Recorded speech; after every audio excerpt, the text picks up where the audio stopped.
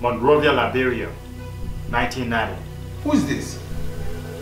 Don't worry about who I am.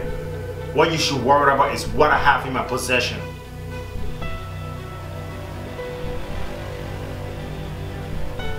I called you because I think my family has been kidnapped. Why would anybody want to kidnap your family, Reverend?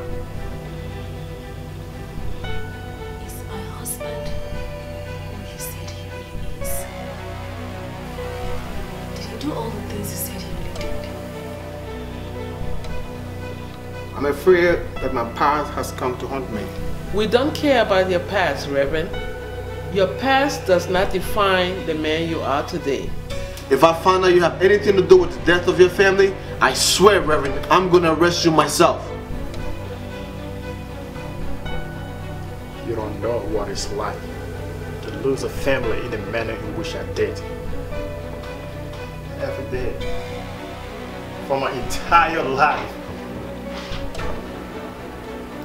Think about that day.